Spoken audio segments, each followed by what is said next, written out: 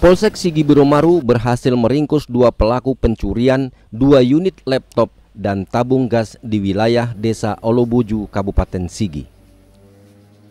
Modus yang digunakan kedua pelaku yang diketahui berinisial AK dan GI dan masih di bawah umur tersebut dalam melancarkan aksinya memasuki rumah warga yaitu dengan cara membuka pintu dengan menggunakan peralatan seperti peniti dan linggis. TKP-nya di Desa Oloboju. Apa saja yang dicuri? Eh, berupa laptop dua buah, eh, tabung gas. Untuk modus pencuriannya bagaimana? Eh, modus pencuriannya pertama awalnya melakukan apa, apa menggunakan peniti mencungkil lubang kunci. Eh, namun ternyata lubang kunci apa jarum yang digunakan itu peniti yang digunakan itu patah sehingga mereka menggunakan linggis untuk membongkar pintu. Setelah dilakukan interogasi oleh kepolisian, terungkap bahwa pelaku telah melakukan aksi serupa sebanyak tiga kali. TKP yang ada dilakukan pelaku? Eh, satu satu tempat. Namun pelaku ini sudah ketiga kalinya melakukan eh, yang sama. Untuk inisialnya kan dua orang. Inisialnya yang satu eh, AK, Ya.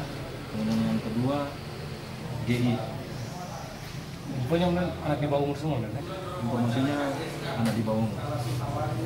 Hasil dari barang curian tersebut, keduanya mengakui nantinya akan ditukarkan dengan narkotika jenis sabu-sabu.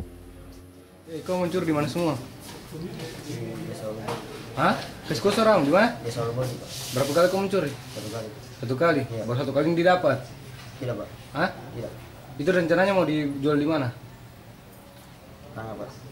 Di tetangga. Ya, Tukar apa? bahan.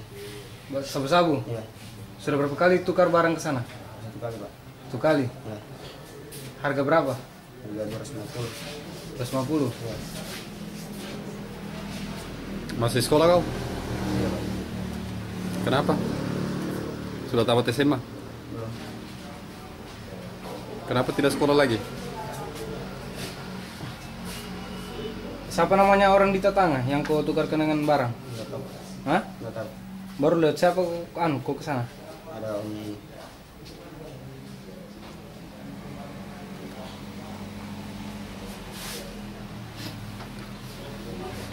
Selain untuk itu hanya untuk tukar sabu-sabu? Waktu bermakan.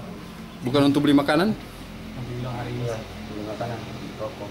Sudah tidak lebih dari 6 jam, Jadi dengan begini sudah mau tobat belum? Tobat pak, tobat. tidak lewat dari 6 jam, Ya. bermotor.